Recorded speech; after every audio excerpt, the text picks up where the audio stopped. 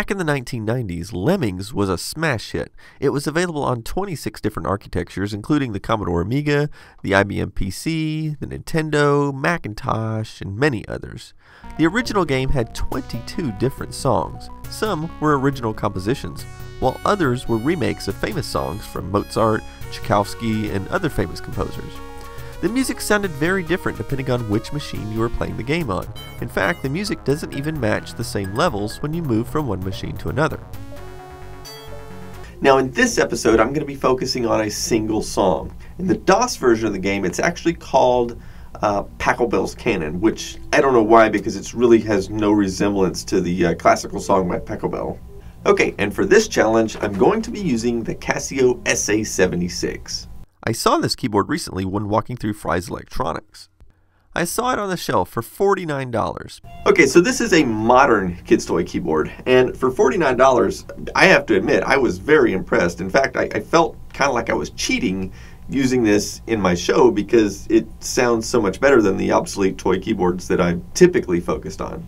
But make no mistake, it was still challenging uh, to use this keyboard. Uh, for one thing, I had to transpose the entire song at two half steps because I couldn't get uh, the bass notes I needed. It was off the scale of the keyboard. I also had to transpose some parts of the music down an entire octave uh, because they were too high pitched and, and there was no keys to play it with. So let me briefly walk you through which instruments I'm going to be using. For the bass, I'm using a synthetic bass. I'm using the vibraphone for this part. I'm using some voice ahs for a sort of ambient sound that follows the bass line. For the drums, I'm not using the dedicated drums up here. Instead, I'm using one of the percussion instruments with a synthetic drum sound like this. And then I'm using strings for this part.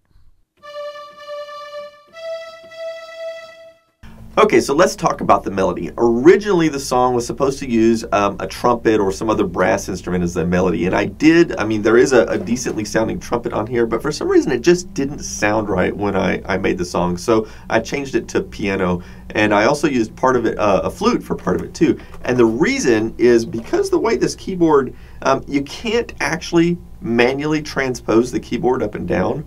But depending upon what instrument you pick, it automatically transposes it. So if you pick a bass instrument, um, for example, it will transpose the keyboard low so that you can get some good bass notes in there. And if you pick certain instruments like a flute, it'll transpose, uh, transpose the keyboard up so that you can get some some higher notes. And so, in order to take advantage of that, um, I ended up using those instruments um, in in order to get the frequency that I was looking for, even though it doesn't exactly match the original song.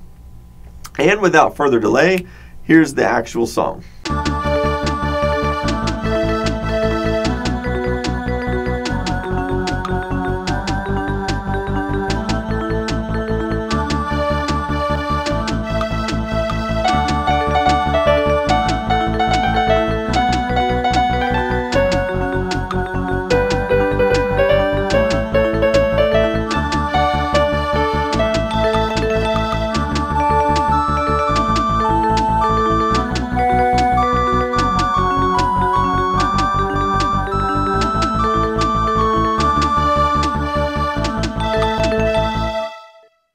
Well, I hope you enjoyed that. And by the way, if you want to be able to listen to the music without listening to me blab on about how I created it and everything, uh, you can actually go to SoundCloud. There's a link down in the description, and uh, you can play all the different music that uh, I'll be featuring on this channel.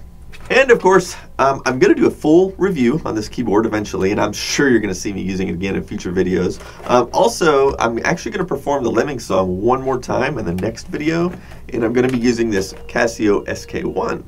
I also want to give a shout out to some anonymous person who recreated my intro song on an old MSX computer. Here's a, just a quick clip of it.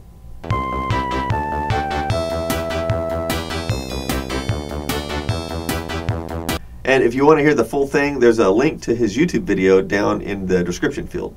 And I also want to give a shout out to Brian Johnston and Tony Williams for creating the original song that I've just covered. And I also wanted to mention one more thing. I have been reading all of your comments, and uh, a lot of people have been requesting stuff, stuff I've already thought about doing, so we're definitely on the same uh, wavelength there. In fact, This just came in the mail today. It's a Casio VL1, and I'm definitely going to be doing uh, some episodes with this, which many of you have requested this keyboard. So uh, I'll see you next time.